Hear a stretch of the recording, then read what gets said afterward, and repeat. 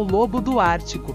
A maior parte dessa espécie habita as regiões frias como Polo Ártico, Alasca e Canadá. A pelagem branca característica serve para camuflá-lo na neve e trazer-lhe facilidades na hora de caçar suas presas, sendo as preferidas renas e bois almiscarados.